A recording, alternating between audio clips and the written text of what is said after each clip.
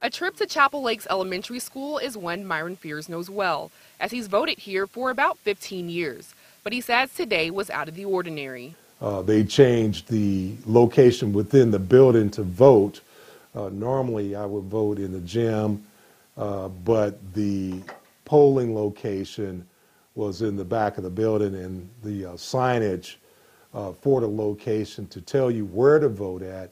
Uh, it was poor signage. He found the polling location, voted, but as he went to cast his vote, he says the unexpected happened. Because I was not used to the layout, I asked one simple question Where do I submit my ballot?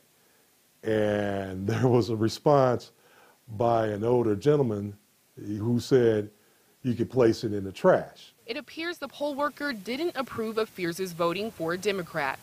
The Jackson County Board of Election Commissioners told Fox 4 they're aware of the situation.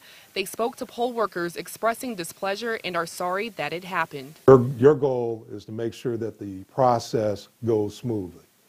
My goal as a citizen is to vote, and that's it. And I'm out.